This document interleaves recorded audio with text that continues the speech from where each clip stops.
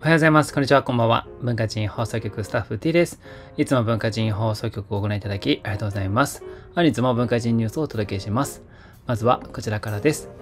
岸田内閣支持率21%、2ヶ月ぶり20%台回復、毎日新聞世論調査というふうな結果になっておりまして、なぜか岸田政権の調査で支持率が回復しておるようです。なんでなんですかね。一方こちら、岸田首相交代した方がいい70%というふうな結果になりました。まあ、どちらにしても岸田首相はもうやめてほしいというふうな国民の世論が巻き起こっているということかと思います。で、こちら、自民、木原幹事長代理、総理再選断念はないと思う。引き続き課題に立ち向かってほしい。9月の総裁選で岸田総理再選に期待というふうな記事が出てきておりました。再選を断念することはないと思うと述べたんですね。残された課題がいくつかある。新しい課題もある。これは岸田総理にやっていただきたいし、やるのに一番ふさわしいと。木原氏は都内で行った講演で、今年の春闘が2年続けて高い賃上げ率となったことを挙げ、来年以降も重要で原動力の一つである新しい資本主義を続けたい。総理に引き続き課題に立ち向かってほしいと述べ、岸田総理の再選に期待する考えを示した。その上で岸田総理が自民党総裁選で再選を断念することはないかを問われ、私の立場ではないと思っていると答えました。またこれまでの政権運営について、国内の経済を活性化することは定程度成果を出したとする一方、海外にどう打って出ていくかについては政策が出せていないとして、輸出や投資を促すためのプランを示す必要があると指摘しました。さらに憲法改正や政治改革などもやるべき課題として挙げた上で、9月の総裁任期満了までに完結しない課題についても岸田総理の下でやっていただきたいと述べましたということなんですね。ちなみに、木原氏自身が将来の総理を目指す考えはあるか問われ、作りたい国はある。特に日本はアジアの中で必ずとリーダーにならないといけない国だ。その先頭に自分も立ちたいと思うと述べ、意欲を示しましたということで、ご自身も意欲があることを示されているんですね。まあ、ここにありますように、ご自身の立場では、再選断念はないと思っていると、まあ、立場ではということも付け加えられているんですけども、まあ、再選に向けて出馬される可能性が高いということなんですかね、やはりね。はあ、こういう国民の世論っていうのを岸田総理は分かってらっしゃるんでしょうか。で、一方こちら、次の自民総裁は高市早苗氏が上昇、石破茂氏はトップ維持、若年層には菅義偉氏が人気というふうな結果が出ておりました。ね、このように画像になって出ておりますけども、1位が石橋茂さん、2位が小泉進次郎さん、3位が高市早苗さんということで、4位の河野デジタル賞を抜かれて、小石川の中にこう食い込まれたということなんですね。若年層には菅義偉さんが人気ということなんですけどもね。ちなみに、えー、次期ポスト岸田最有力と昔言われていた茂木幹事長については、このぐらい下の方にいらっしゃるということなんですね。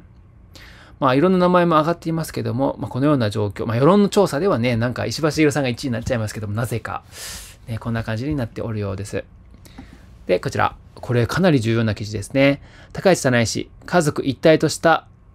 氏は残したい。選択的夫婦別姓に反対。通称使用に法的根拠をというふうな記事が出ておりました。23日配信のインターネット番組、虎ノ門ニュースで選択的夫婦別姓の導入に改めて反対の立場を示した。戸籍上のファミリーネーム、家族一体とした氏は残したいと思っていると強調した。選択的夫婦別姓をめぐっては、経団連が6月に早期実現を求める提言を公表したほか、共産党の田村智子委員長らが同月の党首討論で岸田首相に導入働きかけるなど導入の是非が議題になっている。高市氏は、旧姓がつかないことで生じる社会生活上の不便の解消については自身が総務省時代に所管する制度を変えたとして、住民票やマイナンバーカードに通称使用届を出したら、婚姻前の氏も併記されるようになっている。総務省に関わる法令を全部チェックして、あらゆる届け出、資格、制度、旧氏の併記で OK と1142の手続きを全部変えたと述べ、全部の役所が同じことをやってくれたらと語った。また高市氏は平成10年と令和2年の2度にわたって自民党法務部会に婚姻前の氏の通称使用に関する法律案を提出している。国、地方、公共団体、事業者などは通称使用のために必要な措置を講ずる責務を有すると改めて通称使用に法的根拠を与える内容だが、討議決定には至っていない。高市氏は4年7月に死去した安倍晋三元首相も夫婦別紙はダメだ。別、失礼しました。夫婦別氏ですね。夫婦別氏はダメだ。戸籍上も夫婦、親子を別の氏にしてしまうと、再三懸念を示しているとも振り返ったと言われていまして、ここでこうやって釘を打ってくださったのはめちゃくちゃ強いですね。もうさすが高市さんだなというふうに思いますね。これはもう絶対安倍首相のこう後継としてのうーん器だなって改めて、えー、私もですし皆さんも感じられたと思いますしでこうやってはっきりとダメですと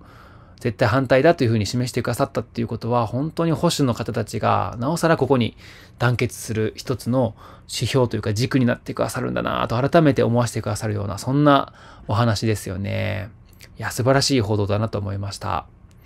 で、こちらです。加賀光栄さんが報じられていますけども、トランプ氏復活で対日、国費要求、四国の暴走措置、阻止、同盟国に求める覚悟と行動、憲法改正、米日タイの合同軍事司令部設置の情報というふうに素晴らしい重要な報道をしてくださっています。まあもう核トラと言われていますね。トランプさんも確実になると言われていますし、まあ、このトランプさんと相対するためには安倍元首相のような考えを持っている人が必要で、そう考えると高市さんががぜ有力になってくるというふうな、そんな高橋さんの分析もありましたけども、ここでトランプさんがどんなことを考えてらっしゃるのか、今一度考えておくべき必要、考えておく必要があると思ったので紹介させていただきます。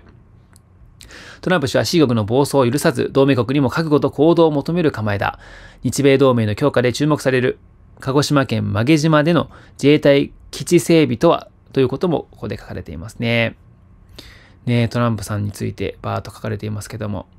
トランプ氏は国民の融和を促す次のようなメッセージを発した。これは18日、ですね。ウィスコンシン州ミルウォーキーで開催された共和党全国大会の大統領候補指名受託演説でこのようにおっしゃったということを紹介されています。神のご加護によって私は皆さんの前に立っている。私は米国全体の大統領になる。米国を成功させ安全で自由で再び偉大な国にする。無能な指導者から国を救わなければならない。大統領選は我が国の歴史上最も重要な選挙となるだろうというふうに言われていますね。はい。なんかこう、分断というより融和本当に全員の代表になりますよというふうな、そういうことを示してくださったような気がしますね。で、外務省関係者は、アンマル未遂事件でトランプ人気が高まり、民主党はこのままでは100%負けるとバイデン氏を事実上引きずり下ろした。一方、共和党は副大統領候補となったバンス氏が17日の指名受託演説でトランプ陣営のスローガン、MAGA のビジョンを列挙した。全世界が注目した当然日本もだと語ったと。ビジョンは、ビジョン概略は以下の通りだ。1、外国人労働者の流入を阻止。米国人の雇用と賃金を確保する。2、無制限なグローバル貿易をやめ、米国製品の製造を増やす。3、CCP が米国人の犠牲の上に中級、中産階級を築くことを阻止する。4、同盟国にも世界秩序の確保の重荷を分担させ、米国人納税者の行為を裏切るようなただ乗りを認めないと認めないというふうに言われています。で、えー、習近平主席率いる C 国が増え上がっていると、以下日米情報当局関係者から入手した極秘情報だということで紹介されていますね。トランプ氏とバンス氏は C 国が最も恐れるコンビだ。バンス氏は昨年、保守系シンクタンク、ヘリテージ財団の講演で最優先事項は C 国の台湾侵攻を阻止することだと断言した。今年3月には C 国が金融や貿易などで法律阻止法律違反した場合、C 国を米金融市場から完全排除する法案を提出した。トランプ氏も C 国からの全輸入品に60%以上の関税を課すことを検討している。軟弱バイデン政権の比ではない。二人は CCP を崩壊させることで完全一致していると言われているんですね。またトランプ氏は7月 EU の議長国に就任したハンガリーのオルバン首相とフロリダ州の指定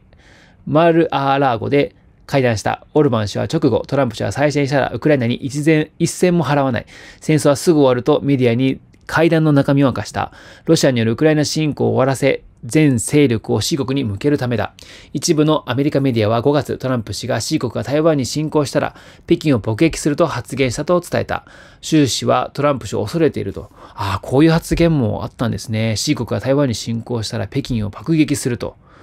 これは抑止がすごいことになりますよね。で、ウクライナ戦争を終わらせる理由は C 国にこう全、全勢力を C 国に向けるためだということで、なるほどなと思いました。そして日本にとって重要なのは4だ。続く日米情報当局者の情報。トランプ氏は自身が務める、進める政策の成功の核心は日米同盟の強化、日本の外交力と軍事力の強化と周囲に語っている。トランプ氏は政策スタッフに極秘裏に2つの対日要求を検討させている。1つは日本が自分で自分の国を守る自衛隊を国防軍と明記した憲法改正。もう1つは C 国の台湾侵攻を想定した米国と日本と台湾3カ国の合同軍事司令部の設置だというふうに言われていますね。いや、これはなんか、まあ、勝手な私の邪推ですけども、トランプさんが安倍元首相のそういう思いを多分めちゃくちゃ知っておられたと思うので、まあ、日本は外圧じゃないと動かないっていうことも分かっておられると思いますので、今の日本はですね。だから、安倍元首相に代わって、こう日本のこう自分たちの、自分で自分の国を守るための整備っていうのを進めようとしてくださってたらいいなと、そんな淡い願望をしますね。淡い願望をしますね。はい。で、曲げ島についてもこのように語ってくださっていますね。第二次トランプ政権の誕生は世界にとっても日本にとっても極めて重要な意味を持つ。日本は国家の命をかけた覚悟と行動が求められる。国民の信頼を失いつつある岸田首相で大丈夫なのか、ダメなら早急に変えなければならないと締めくくられています。こちらの記事、ぜひご覧いただけたらと思いますけどもね。いや、本当にトランプさんがなってくださったら世界ももちろん日本も劇的に変わる可能性があるということですね。で、こちら、トランプ氏アンマル未遂、クルックス容疑者が JFK アンマル事件を検索。事件1週間前に選挙集会へ参加登録。それまでに犯行を計画かと言われてるんですね。FBI のレイ長官が、あ下院司法委員会の公聴会で証言した。シャマルされたクルックス容疑者が13日の事件1週間前にあたる6日にトランプ氏の選挙集会に参加登録したほか、1963年の JFK アンマル事件を調べていたと指摘。それまでには犯行を計画していたと見られると語ったということなんですね。霊長官はパソコンを分析した結果と説明。ケネディ大統領アンマル事件について、実行犯のオズワルドはケネディとどのぐらい距離、どのぐらい離れていたのかを検索していたという、ということで言われていますね。で、携帯電話でメッセージを暗号化する通信アプリを使用していたが、共謀者がいるという証拠はないとした。犯行声明は見つかっておらず、はっきりした動機は分かっていないとも述べたというふうに言われていますね。はい、このように、えー、新たな情報が出てきましたけども、ねこういうことを意識してされたのかね、いろんな説が流れていますよね。これはなんかこう、大きな組織があったなわけではないという説であったりとか、他にもスナイパーがいた説であったりとか、で、うん、他にもなんかこう音響分析した結果、いろんな音が混じっていたであったりとか、で、この人だけ、クルックス容疑者だけ分かっていた、分かるところから音を出して撃ったということは、この人が標的にされていたみたいな、そんな説も、いろんな説があって、もう何がどうなのか、まだまだ分からないところがたくさんありますので、何とも言えないんですけども、まあ、大きな組織は絡んでいないのじゃないかなというふうなことも言われていますし、ね、どうなんでしょうかね。まあでもこういう新しい情報も出てきていますし、またこれからも新しい情報が出てくると思いますので、注目だなというふうに思っております。いろいろ紹介させていただきましたが、いかがだったでしょうかぜひ皆様のご意見などコメントいただけたらと思います。というわけで、ここから先はメンバーシップ、レベル1、レベル2の皆さん向けてのコンテンツとなります。ここから先は一般公開で扱いにくいな情報も扱いたいと思っております。続きは動画欄からご視聴ください。居場所様ここまでです。ありがとうございました。というわけで、ヘルもたくさん紹介したいんですが、本日は以上です。本日もありがとうございました。それではまた。通信作はやっぱり癒し系動画で終わりたいと思います。本日は、こちら。ボーダーコリーの牧羊犬が仕事をしている様子のタイムプラス映像。これは気持ち良いということで見てみましょう。